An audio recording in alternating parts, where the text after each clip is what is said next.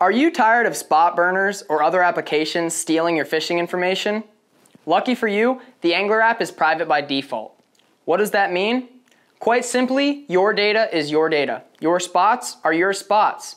The only thing that gets shared is information that you would choose to share with a close friend. Lock down your data today with the ANGLR app. Quit worrying about losing your fishing spots.